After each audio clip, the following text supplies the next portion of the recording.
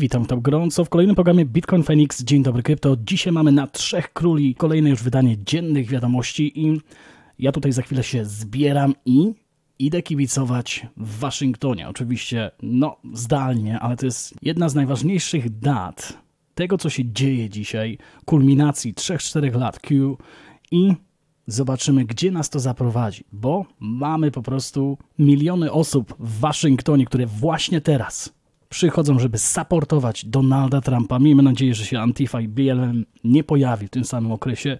Tego nie zobaczycie w telewizji, tego nie zobaczycie w mediach, bo niestety jedna strona medalu jest często pokazywana. Także jeżeli chcecie się dowiedzieć, co tak naprawdę ma się dzisiaj wydarzyć w Waszyngtonie i czy Mike Pence dopełni swego obowiązku, żeby uznać te wybory prezydenckie za nielegalne w wyniku zarzutów, jakie są do tej pory. Wystarczy wysłuchać drugiej strony i posłuchać oczywiście to, co się tam dzieje. Ja polecam tego pana, Artura Kalwarczyka, który na bieżąco, codziennie, raz dziennie dodaje informacje. Wystarczy, że sobie zobaczycie tą audycję ze wczoraj, pewnie dzisiaj lada chwila też się pojawi, może nawet dwa razy, więc wtedy wiecie, co tutaj się dzieje od strony Donalda Trumpa. Niektórzy chcą, żeby wygrał Biden. Niech wygra najlepszy, ale najlepszy w uczciwych wyborach i przy okazji zachowując prawa konstytucji. A my już przejdźmy do kryptowalut. Nie będziemy już tutaj więcej na ten temat mówić. Ja muszę zniknąć, bo to jest po prostu moja dewiza, żeby tam być razem z nimi, z patriotami. W międzyczasie wyjdzie Crypto Crew około godziny 22. Może zobaczymy tutaj, wejdę na chwilę, żeby go przetłumaczyć tym wszystkim, którzy potrzebują tłumaczenia kolejnego. A jeżeli chodzi o audycję, o recenzję książki, którą Oczywiście możecie sobie tutaj sprawdzić. Wejdziecie na główny kanał w głowie twórcy bitcoina.pl. Można sobie nacisnąć i zobaczyć, o czym to jest. Wtedy będziemy tutaj robić ten konkurs na recenzentów, czyli ci, którzy pod tym filmem, który wyjdzie jutro, zrecenzują tą książkę, będą mogli wygrać nagrody i jakie, o tym opowiemy oczywiście, a te osoby, które już przeczytały, mam nadzieję, że mają już takie jakieś swoją opinię na, na temat tej książki i tam właśnie wśród tych recenzentów, które zostaną przeniesione na tą stronę, potem te komentarze, wszystkie, tak naprawdę wszystkie, jeżeli nie ma kukaki, można je tutaj przerzucić i potem e, ewentualnie je zamieścić na tej stronie głównej, żeby ludzie mieli mm, pogląd na to. Audiobook wychodzi już lada dwa tygodnie, można trzy tygodnie powiedzieć maksymalnie. Jeszcze tutaj gardło suszycie, że no, niestety, doskwiera, ale widzę już światło w tunelu, ileż można mieć to przeziębienie, tak? Z drugiej strony. Dobra, wróćmy do Bitcoina 34 616. Mamy delikatny spadek w ostatniej godzinie, także może warto wyjść z takich krótkich pozycji, ale na pewno macie, trzymacie rękę na pulsie. Stellar 93%. Teraz zobaczcie, co robią wiadomości, newsy, jeżeli ich słuchacie w markecie Byka. One naprawdę działają. Ludzie się przerzucają. Stellarowi na pewno pomaga to, że XRP ma ostatnio problemy i tutaj już wyprzedził XRP, a o tym mówiłem dzień wcześniej, praktycznie i dwa dni wcześniej, po, po, raz pierwszy, gdy usłyszeliśmy, że Stellar ma jakąś tam współpracę na Ukrainie. Czy to jest potwierdzona, czy nie, czy to jest ich prywatny blockchain, nie mnie tutaj gdybać na ten temat. Najważniejsza jest informacja, który, a, ci mogą mieć CBDC, no to idziemy. I widzimy, że te idziemy było w 93% wzrostu w ostatnich 24 godzinach. W ostatnich godzinach Bitcoin delikatnie spada, ludzie będą brać profity. Pamiętajcie o tym i zobaczymy, gdzie ta cena Stellara może się zatrzymać. Nie wiemy. Status 58, Cardano 33,7. Projekty, które sobie nie poradziły, to jest Loopring minus 17%, o tym mówię. Profity 122 w 7 dni. Może warto pomyśleć już o profitach delikatnych. Numer A minus 5,5, empty set dolar minus 5,3. Ok, jeżeli chodzi o Binance, ktoś dał, ktoś, tak naprawdę nie wiemy kto, bo no to jest giełda Binance, ale ktoś wystawił w orderbooku 4 stycznia czasu, powiedzmy, naszego to było może czwarta, siódma rano, gdzieś, gdzieś w tych granicach, yy, takiego orderbooka na 21 milionów bitcoinów. I podałem to paru źródłom do tej pory i niektórzy naprawdę są szokowani. Jeszcze jest do tego wideo, które pokazuje to. Nie będę tutaj tego udostępniał, więc uważajcie na granie na longi i shorty. Bo co to zapoczątkowało? To ten spadek z 30, można powiedzieć, 4000 do 29. No jeżeli się daje order booka na 27 milionów bitcoinów, które nie są jeszcze wykopane na Binance, może razić po oczach. A może się tak zdarzyć, jak na BitMEXie mieliśmy, order booki się zawaliły i też była ogromny pogrom. Dzięki jednej giełdzie. Także oby to się nie wydarzyło, ale miejmy to na uwadze. Tak poważne y, no, order booki z 21 milionami bitcoinów, które są na sprzedaż, one nie istnieją. Mogą istnieć, jeżeli ktoś ma gruby palec, powiedzmy z zarządzania Binance i taki bocik sobie leci. To są na razie niepotwierdzone informacje, można powiedzieć oficjalnie przez Binance, ale wideo jest do tego dostępne, jest y, społeczność, która spekuluje na ten temat i nie wygląda, żeby to był fałszywy y, news. Jeżeli coś się zmieni, dam wam znać. Sprawa Craiga Wrighta ustalona z Dave'em Claymanem jest teraz na 1 czerwca. Także jeszcze będzie trzeba tutaj poczekać w wyniku do kogo należą te bitcoiny, a mowa o 1,1 miliona, o ile oczywiście będzie to potwierdzone. Sprawa się przesuwa do 1 czerwca. Jeżeli zastanawiacie się, dlaczego Bitcoin Cash ostatnio ma więcej transakcji, zawsze tutaj było bardzo nisko w porównaniu do innych, Także w tym przypadku zobaczcie jeszcze na transakcje, jak się ruszyły, gdzie to, to jest. O, dokładnie. Bitcoin Cash zawsze miał gdzieś około 100 KB w transakcjach. Ostatnio to się powiększa i pewnie niektórzy się zastanawiają, co się dzieje. E, akurat BSV na święta miał wolne. Można powiedzieć, niektóre firmy wracają do żywych i leci to z powrotem w górę. Ale Bitcoin Cash dlatego, że mamy tutaj Kima, który Wiemy, że to jest osoba, która stoi za stroną Mega Upload e, wcześniej a teraz zainteresowała się podobnym projektem jak na BSV, czyli na BSV mamy Twitcha i też różne projekty, gdzie się daje dane e, i można je, tak jak tutaj widzimy, KIM, The Ultimate Content Monetization System, czyli będzie można po prostu mm, coś opublikować i za to zarabiać też na e, blockchainie Bitcoin Cash. Mamy tutaj całą mapę, jak to ma wyglądać. Widzimy, że Lightning integracja była w 2019, Liquid w kwartale pierwszym 2020 mamy aplikacje, prototypy. Pierwsze były w kwartale pierwszym 2020, testowania. Teraz znajdujemy się właśnie w finalnej integracji dla użytkownika. No już jesteśmy po tym, bo zaczyna to działać, testują, widzimy, że jest więcej transakcji, dlatego stąd jest ta różnica. Naprawdę Bitcoin Cash potrzebował takiego kopnięcia, bo już faktycznie leżał, a dzięki Kim.com, który no jest tam, stoi gdzieś za tym Bitcoin Cash cały czas, może to wyjść, przynajmniej przy jego zasięgach, jeżeli chodzi o tutaj te pierwsze fazy. Co się wydarzy dalej, nie wiemy, ale przynajmniej wiecie, dlaczego tu się to zmienia e, w tych transakcjach. Crypto Potato mówi o porównaniu do bullrunu, czyli hossy z 2017 roku. Bitcoin może osiągnąć nawet 350 tysięcy dolarów za monetę w ciągu maksymalnie 6 miesięcy, jeśli historia się powtórzy. Jednocześnie górnicy odmawiają sprzedaży, a wieloryby BTC osiągnęły all-time high. Dlaczego? Dalej sugeruje się dalszy wzrost. Mamy tutaj wynik BTC E, dokładnie z tym tutaj MVRV. I co tutaj znaczy to? A więc zasadniczo oznacza to, że gdy rynek aktywów bazowych doświadczył gwałtownego ruchu w górę w stosunku krótkim czasie i jest znacznie wyższy niż wartość zrealizowana, wskaźnik wskazuje szczyt rynkowy, czerwona strefa. Oczywiście sytuacja odwrotna prowadzi do dna rynkowego, czyli zielonej strefy. Bitcoin oczywiście szedł w parze w ciągu ostatnich kilku miesięcy, przełamując barierę za barierą, potrajając swoją wartość i ostatecznie rejestrując kolejne rekordy wszechczasów. Ostatni osiągnął prawie 36 tysięcy dolarów.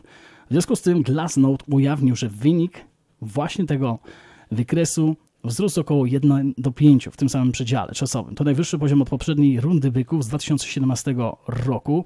No i jednak wykres zapewnił, że metryka nadal znajduje się z dala od tej czerwonej linii z 2017, tutaj to widzimy, ale wygląda to obiecująco, ich zdaniem. Jeżeli mielibyśmy dojść i kontynuować ten wzrost do tej czerwonej linii, wtedy faktycznie 350 tysięcy dolarów, tyle ich jest predykcja.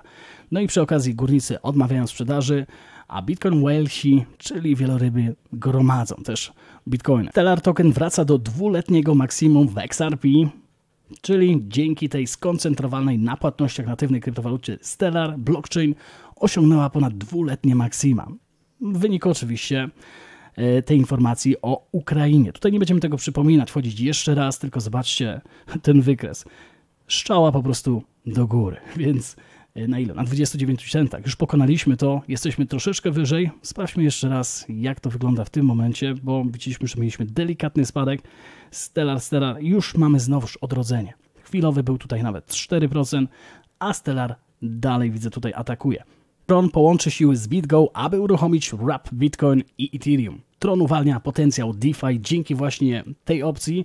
Wrap Bitcoin, Wrap Ethereum, syntetyczne wersje dwóch największych kryptowalut zostały uruchomione na blockchainie Tron zgodnie z komunikatem prasowym udostępnionym U-Today. Prezes Trona Justin Sun twierdzi, że wypuszczenie tych dwóch tokenów oznacza początek nowej ery dla jego projektu.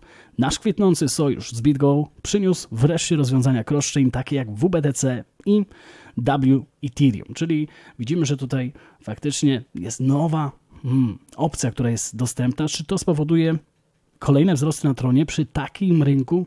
Ja uważam, że może faktycznie tak nastąpić. Podczas gdy Ethereum nadal dominuje DeFi, Tron poczynił znaczące postępy w tym sektorze również dzięki JustSwap, JustLink i innym aplikacjom. Dzięki temu partnerstwu JustLink, JustSwap i rosnącemu pakietowi usług DeFi, Tron będziemy nadal rozwijać ekosystem, aby nasi użytkownicy mieli dostęp do ich ulubionych kryptowalut dzięki innowacyjnym mechanizmom finansowym i wysokiej płynności. Marzyliśmy o tym, aby zapewnić naszym użytkownikom korzyści płynące z bit Bitcoina do Ethereum bez wysokich opłat za gaz i dziś staje się to rzeczywistością. Ripple odpowiada na miażdżący proces sądowy od swojego głównego interesariusza. Ripple szybko odpowiedział Tetragonowi, swojemu kluczowemu udziałowcowi, twierdząc, że jego pozew jest bezwartościowy w niedawnym oświadczeniu. Jak donosi U-Today, blockchain Decacorn został postawiony przed sądem przez firmę inwestycyjną multimiliardową, która teraz próbuje wykupić swoje akcje. Nastąpiło to po przełomowym procesie sądowym z SEC. Tetragon chce wyegzekwować swoje wynikające z umowy prawo, zwracając się do sądów o tymczasowe zamrożenie majątku pozwanego. To by było u steru rundy finansowania Ripple z serii C, która zakończyła się pod koniec 2019 roku. Ripple w bardzo prosty sposób mówi, ten pozew jest bezzasadny, ponieważ nie ustalono, czy XRP jest zabezpieczeniem. Przewiduje się, że walka prawna z SEC będzie trwała ponad rok. Sądy zapewnią tę jasność i jesteśmy bardzo pewni naszego stanowiska. Także wow, mogą one trwać ponad rok. Z tego co widzimy z tej odpowiedzi Ripple. No i jeżeli inne firmy by się zachowały tak jak Uphold, może nie byłoby to tak no, drastyczne w skutkach dla XRP w tym momencie, ale jeżeli niektórzy mają czekać rok przy tak dynamicznym rynku, to nie dziwię się, że niektórzy na przykład zeszli do Stellara czy innych projektów ostatnio. Na pewno tego nie żałują. Z drugiej strony mamy ekipę, która wierzy oczywiście w XRP, no i pozostaje im życzyć jak najlepiej, tak? Nie bądźmy sobie wrogami, tylko niech wygra najlepszy. A gramy do jednej bramki chyba. Tak przynajmniej mi się wydaje. NewsBTC byczy wzór kontynuacji na Ethereum, przewidując cenę powyżej 1500 dolarów. Ethereum ma potencjał, aby przedłużyć swój ciągły ruch wzrostowy w kierunku lub powyżej 1500. Druga co do wielkości kryptowaluta przebiła się w środę powyżej kanału cenowego, konsolidacji, przełamując swoją górną linię trendu na wzrost wolumenów. Wygląda więc na to, że kanał jest trójkątem rosnącym, który inwestorzy postrzegają jako zwyżkowy. Wskaźnik kontynuacji, tak jak mamy tutaj na tym wykresie. Widzę, że to jest w granicach 1143 dolary. Zobaczmy teraz, czy pokonujemy pomału ten kanał 1143. No, zobaczcie, jak można powiedzieć, w plackiem strzelił, chciałem powiedzieć inaczej, ale okej. Okay. Faktycznie jest to poziom do przeskoczenia. Jeżeli go przeskoczymy, może być ta kontynuacja zachowana. To jest średnia. To nie jest wykres z jednej giełdy, także lepiej obserwować oczywiście poszczególną giełdę czy TradingView. Tu jest akurat średnia, ale faktycznie ta droga do Ethereum może tutaj być dalej E, kontynuowana, jeżeli uderzymy powyżej, nawet tu się mówi 1168 dolarów, może skłonić traderów do zwrócenia uwagi na cel wybicia w kanale rosnącym.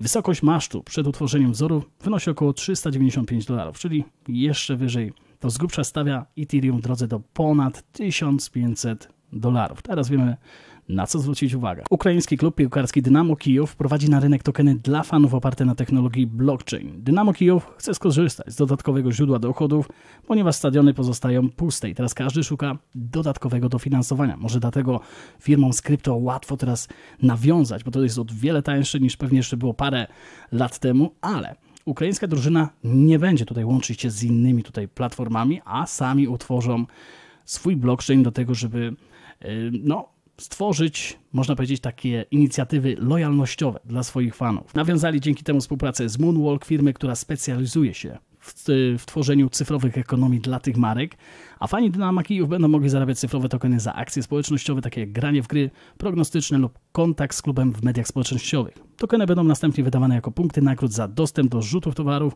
dołączenie do wydarzeń VIP lub rabaty przy zakupie towarów na stadionie. Tokeny pozwolą również fanom na zakup cyfrowych przedmiotów kolekcjonerskich na rynku Dynamo Kijów. Cointelegraph próbuje nam wytłumaczyć, czy mamy przegrzany rajd. Trzy znaki ostrzegawcze pojawiają się dla Bitcoina, gdy stopa finansowa rośnie. No, przegrzany? Delikatnie, ale zobaczmy, co oni tutaj dodadzą. A więc stopa finansowania Bitcoina na rynku kontraktów terminowych przekroczyła 15-krotność, mm, powiedzmy, finansowania na longi, więc teraz w tym momencie finansowanie jest mechanizmem używanym przez giełdy futures do znalezienia równowagi na rynku. Czyli longi płacą shortom i shorty płacą longom, w zależności gdzie jesteśmy. Jeżeli on jest przegrzany, w tym momencie opłata za finansowanie przekracza 0,15%, oznacza to, że rynek jest bardzo przegrzany, a zdecydowana większość rynku tęskni za Bitcoinem. Ten trend zwiększa prawdopodobieństwo długiego squeeze, w którym posiadacze długich kontraktów są zmuszeni dostosować swoje pozycje, jeśli cena Bitcoina spadnie. Jeśli otwarte zainteresowanie rynku jest najwyższe w historii, szanse na większy wycisk z długich pozycji dalej rosną. Wiadomo, giełdy muszą zarabiać. Mieliśmy przykład początkowego order booka na Binance. Tak to działa, tak? Długie longi, trzeba puścić coś, żeby no, zarobić też na tych longach, więc wtedy taka rzecz się dzieje. Wieloryby na rynku azjatyckim również sprzedawały duże ilości bitcoinów w zeszłym tygodniu. Dane z CryptoQuant pokazują ogromne napływy BTC do BitHump, największej giełdy Korei Południowej. Niemniej jednak nie wszystko jest takie, można powiedzieć, negatywne, tylko hash rate mm, jest tutaj w kolejnym poziomie na all-time high. Więc y, mamy obserwować, mówią tutaj, podpowiadają wypływy z Coinbase. To będzie dla nas oznaka. Także wypływy z Coinbase często sygnalizują instytucjonalne zlecenia kupna, ponieważ instytucje i zamożni inwestorzy wolą przechowywać swoje aktywa z dala od scentralizowanych giełd. Ki Jung-jung, dyrektor generalny CryptoQuant, opowiedział o tym. Wygląda na to, że instytucje kupiły BTC, gdy cena przekraczała 30 tysięcy. Hossa dolarów BTC jeszcze się nie skończyła, a jeśli odpływy i premie Coinbase pozostaną wysokie, prawdopodobieństwo dużej korekty powinno zmniejszyć się, wydającej się przewidzieć przyszłości. Także hmm, z jednej strony wypadałoby mieć jakąś korektę, a z drugiej strony mamy rynek byka. Zobaczcie, tak to wygląda w tym momencie. No i zobaczymy, jaka będzie kontynuacja. Dzień ponownie uruchamia generujący zyski stablecoin po listopadowym ataku, który wyczerpał 7 milionów dolarów z posiadaczy z AUSD, czyli o USD dokładnie. Jak poinformował Coindex we wrześniu inteligentny kontrakt zasilający AUST nie był jeszcze audytowany. Pozwala użytkownikom zdeponować najpopularniejszym stablecoinom, które były podłączone do zdecentralizowanego finansów DeFi. W listopadzie inteligentny UF kontrakt zawierał 7 milionów dolarów, na co firma twierdziła, że to był wielki popyt. Jednak w połowie listopada został opróżniony z powodu błędu ponownego wejścia w smart kontrakcie. Ten sam exploit, który zatopił oryginalny DAO. No i teraz już są po nowych planach. 11 grudnia Origin opublikowało plan rekompensat dla użytkowników, którzy stracili w środku wyniku ataku. Pierwsze 1000 aust utracone na każdego użytkownika byłoby w pełni wyrównane.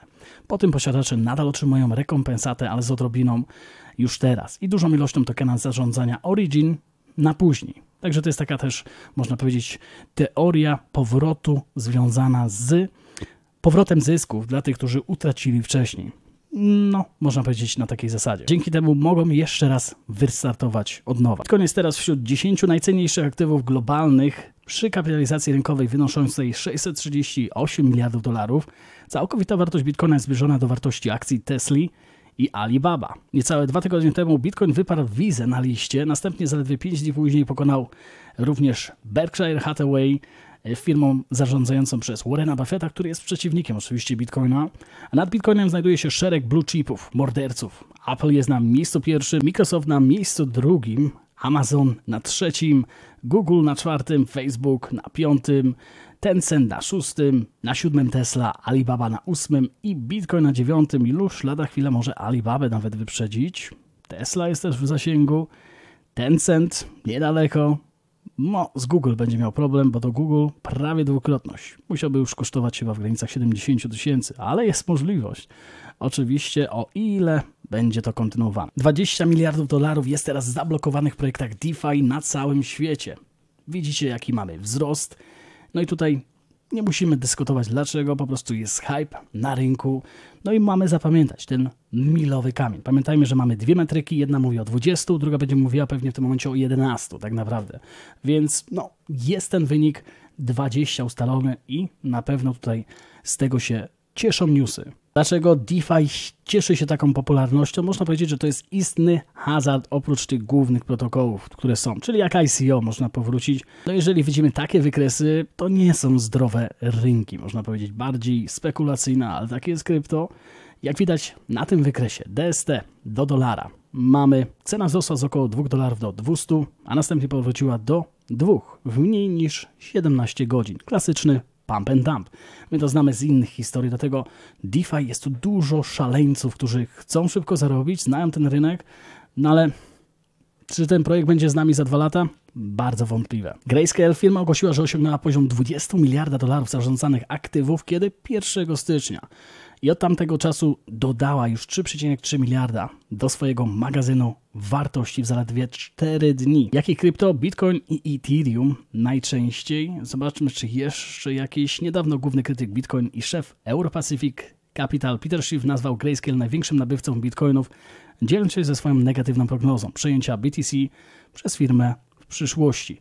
A Grayscale wyklucza XRP ze swojego funduszu, to już wiemy i to jest oficjalna już wiadomość. Regulacje też atakują Singapur. Ulepszona ustawa o usługach płatniczych uchwalona. To jest 5 stycznia, czyli dzień wcześniej, czyli dzień przed, tym, przed tą publikacją 4 stycznia wymaga posiadania licencji od każdego podmiotu, który ułatwia przesyłanie, wymianę lub przechowywanie cyfrowych tokenów płatniczych DPT, zwanych inaczej kryptowalutami. Monetary Authority of Singapore, jak powiedział minister transportu Ong Ye Kyung podczas drugiego czytania ustawy o usługach płatniczych w parlamencie, więc po prostu tam też regulacje nadchodzą. Today dodaje informację o tym, że XRP wkrótce opuści pierwszą piątkę po raz pierwszy od 2014 roku, ponieważ Cardano rośnie o 40% i zagraża pozycji właśnie w tym momencie XRP od, zobaczcie, 2014 roku. Możemy sobie mówić cokolwiek chcemy, ale SEC i regulacje Stanów Zjednoczonych faktycznie działają na cenę. No, inaczej tego nie można określić. Także każdy teraz, kto będzie miał taki zarzut w przyszłości, wiemy, co możemy zrobić lub zaradzić, w razie czego, żeby nie podążać śladami XRP. Przynajmniej do tego momentu, bo tak naprawdę nie wiemy. Zobaczcie, 7,9% i tak w ostatnie 24 godziny wzrasta, więc nie wszystko stracone oczywiście. 22 lutego czekamy na to, co się wydarzy, ale Cardano już zagraża pozycji XRP. Przynajmniej na liście CoinMarketCap. ShapeShift idzie w pełne DeFi, aby stracić zasady KYC. Hmm. To jest ciekawa rzecz, bo wiecie, że ShapeShift w momencie, kiedy wprowadził KYC, nagle stracił połowę, 70% klientów, bardzo dużo. No i teraz co tu zrobić, tak? Nadchodzą regulacje. Może to jest właśnie ta dewiza, żeby wejść w DEXy, wtedy można ominąć KYC, politykę tą całą. Firma będzie stopniowo wycofywać swoją własną scentralizowaną działalność handlową i politykę KYC na rzecz zdecentralizowanej alternatywy, ponieważ stanie się w 100% oparta na DEX dla klientów, powiedział w e-mailu Coindesk założyciel i dyrektor generalny ShapeShift Erik Voorhees. Kiedy to nastąpi? Jeszcze w tym kwartale, zauważają. W pierwszym kwartale będą również dostępne kryptowaluty i tokeny z innych łańcuchów bloków innych niż Ethereum.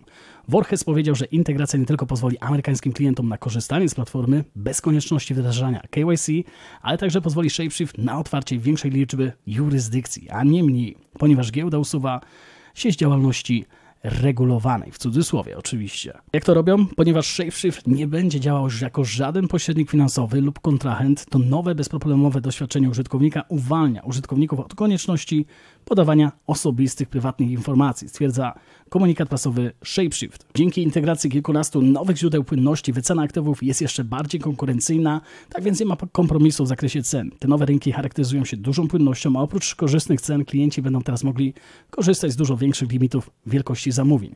ShapeShift otrzymuje część opłat transakcyjnych, które każdy DEX pobiera w zamian za kierowanie ruchu i klienci ShapeShift otrzymują również natywny token giełdy o nazwie chyba tutaj będzie Fox, z tego co tutaj widzę. Chyba tak, Fox w zamian za każdą transakcję przeprowadzoną na platformie, aby ułatwić też tutaj zarządzanie. Także może to jest właśnie ta droga dla tych wszystkich giełd, które były scentralizowane do tej pory. Regulacje się za te scentralizowane biorą.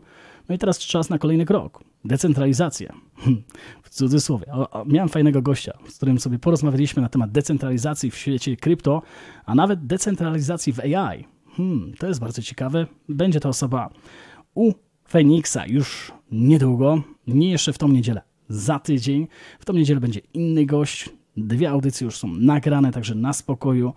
No i czas zaprosić kolejne osoby. A ja spadam do Washingtonu i idę kurować dalej gardło, bo już mi siada. Ale spokojnie, już widzę światło w tunelu. Już niektórzy z Was polecali mi tam w komentarzach, co brać, stosuje się, więc bliżej niż dalej. Pamiętajcie, zostańcie z Bitcoinem.